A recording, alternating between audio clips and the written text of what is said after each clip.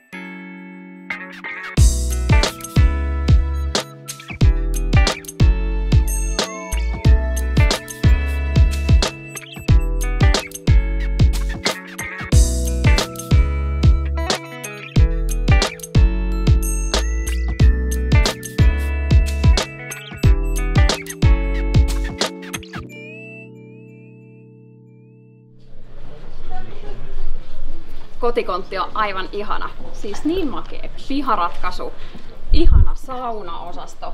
Ja Superman, miksi meille ei tule tällaisia liukuovia? No nyt ääni taustalta huutaa, että pankin täti sanoo, että teille ei tule liukuovea.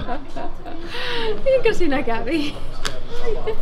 Talotehtaiden arkkitehtien ja suunnittelijoiden mukaan niin suurin osa suomalaisista toivoo, että voisi asua valoisassa ja ilmavassa kodissa.